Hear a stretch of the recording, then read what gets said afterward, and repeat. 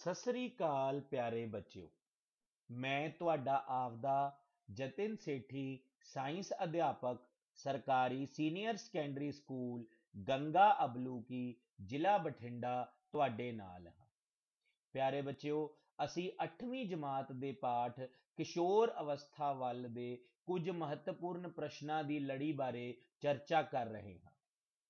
ਅੱਜ ਇਸ ਲੜੀ ਨੂੰ ਗਾਂਹ ਚਲਾਉਂਦੇ ਹੋਏ ਅਸੀਂ ਪ੍ਰਸ਼ਨ ਨੰਬਰ 7 ਬਾਰੇ ਚਰਚਾ ਕਰਾਂਗੇ, ਜੋ ਕਿ ਹੈ ਰਜੋ ਨਿਵ੍ਰਿਤੀ ਤੇ ਨੋਟ ਲਿਖੋ ਅਤੇ ਅੰਗਰੇਜ਼ੀ ਮਾਧਿਅਮ ਦੇ ਵਿੱਚ ਇਹੀ ਪ੍ਰਸ਼ਨ ਹੈ ਵਾਟ ਇਜ਼ ਮੀਨੋਪੌਜ਼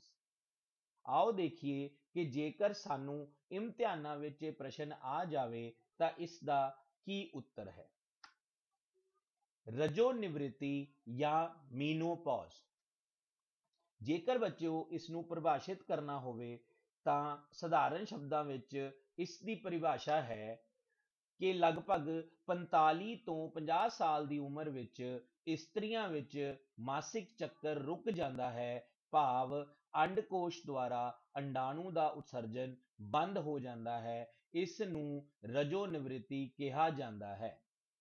ਇਸ ਤੋਂ ਪਹਿਲਾਂ ਮਾਸਿਕ ਚੱਕਰ ਵਿੱਚ ਅਨਿਯਮਿਤਤਾ ਆ ਸਕਦੀ ਹੈ। ਸੋ ਪਿਆਰੇ ਬੱਚਿਓ, ਕਿਸੇ ਵੀ ਔਰਤ ਦੇ ਜਾਂ ਇਸਤਰੀ ਦੇ ਉਮਰ ਵਿੱਚ ਉਹ ਪੜਾਵ, ਜਦੋਂ 45 ਤੋਂ 50 ਸਾਲ ਦੀ ਉਮਰ ਵਿੱਚ ਇਸਤਰੀਆਂ ਦੇ ਅੰਡਕੋਸ਼ ਅੰਡਾਣੂਆਂ ਦਾ ਉਤਸਰਜਨ ਬੰਦ ਕਰ ਦਿੰਦੇ ਹਨ, ਭਾਵ ਕਿ ਅੰਡਾਣੂ ਬੰਨੇ ਬੰਦ ਹੋ ਜਾਂਦੇ ਹਨ, ਉਸ ਪੜਾਅ ਨੂੰ ਰਜੋ ਨਿਵ੍ਰਿਤੀ ਕਿਹਾ ਜਾਂਦਾ ਹੈ ਅਤੇ ਇਸ ਪੜਾਅ ਤੇ ਆਉਣ ਤੋਂ ਪਹਿਲਾਂ ਕਈ ਵਾਰ ਇਸਤਰੀਆਂ ਦੇ ਮਾਸਿਕ ਚੱਕਰ ਵਿੱਚ ਅਨਿਯਮਿਤਤਾ ਵੀ ਆ ਸਕਦੀ ਹੈ ਪਿਆਰੇ ਬੱਚਿਓ ਇਹੀ ਉੱਤਰ ਜੇਕਰ ਤੁਸੀਂ ਅੰਗਰੇਜ਼ੀ ਮਾਧਿਅਮ ਵਿੱਚ ਵੀ ਦੇਣਾ ਹੋਵੇ ਤਾਂ ਉਹ ਹੈ ਕਿ at the age of 45 to 50 the menstrual cycle stops in the female the ovary stops generating an egg thereby bringing an end to the fertility in females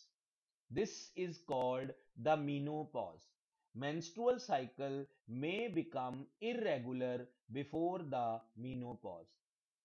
So ਪਿਆਰੇ ਬੱਚਿਓ, ਮੈਨੂੰ ਪੂਰਾ ਯਕੀਨ ਹੈ ਕਿ ਤੁਹਾਨੂੰ ਸਮਝ ਆ ਗਿਆ ਹੋਵੇਗਾ ਕਿ ਆਖਿਰ ਰਜੋ ਨਿਵ੍ਰਿਤੀ ਕੀ ਹੈ। ਇਸਤਰੀਆਂ ਦੀ ਉਮਰ ਦਾ ਉਹ ਪੜਾਵ ਜਦੋਂ 45 ਤੋਂ 50 ਸਾਲ ਦੀ ਉਮਰ ਵਿੱਚ ਉਹਨਾਂ ਦੇ ਅੰਡਕੋਸ਼ ਅੰਡਾਣੂਆਂ ਦਾ ਉਤਸਰਜਨ ਬੰਦ ਕਰ ਦਿੰਦੇ ਹਨ ਉਸ ਨੂੰ ਰਜੋ ਨਿਵ੍ਰਿਤੀ ਕਿਹਾ ਜਾਂਦਾ ਹੈ ਇਸੇ ਤਰ੍ਹਾਂ ਇੰਗਲਿਸ਼ ਦੇ ਵਿੱਚ at the age of 45 to 50 when the menstrual cycle stops in the female this is called as menopause the ovary stops generating egg and thereby bringing an end to fertility in females menstrual cycle may become irregular before the menopause